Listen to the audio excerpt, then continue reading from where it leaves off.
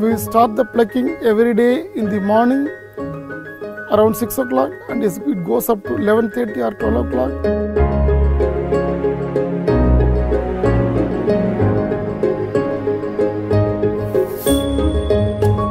This has bloomed yesterday evening. Okay.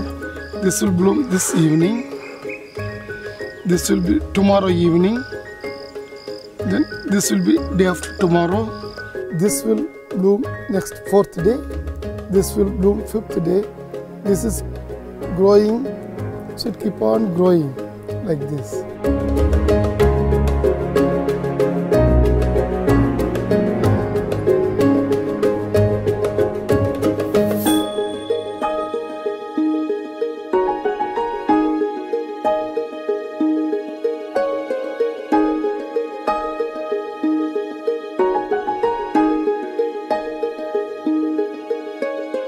My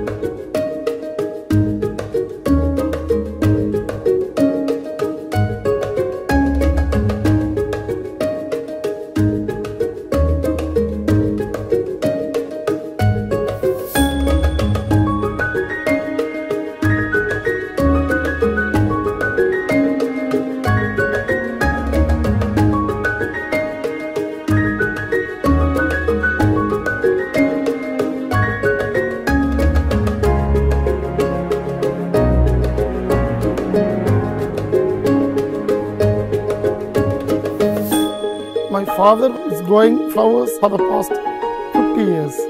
So initially our flowers were sold in the flower market. Then slowly after my studies I thought of some doing some business with existing raw material which my father grows. So then we planned to start a factory. We started this in 1985. In our factory we have about 36 employees.